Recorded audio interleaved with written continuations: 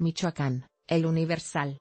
Guión la tarde de este martes, las brigadas de búsqueda localizaron con vida a una joven mujer de 17 años de edad, y a su pequeña hija de 10 meses de edad que estaban reportadas como desaparecidas desde el pasado domingo en el municipio de Peribán, informó la Secretaría de Gobierno de Michoacán.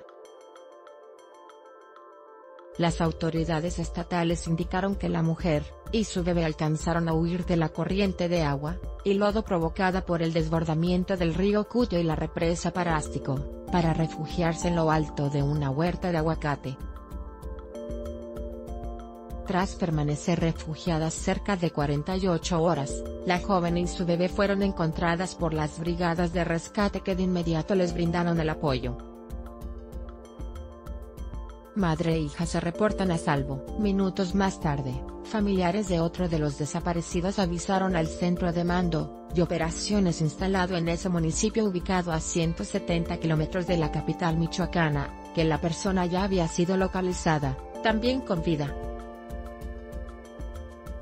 Consultadas al respecto, las autoridades estatales informaron que la persona encontrada muerta este mismo día, sí corresponde a otra de las que estaban reportadas como desaparecidas.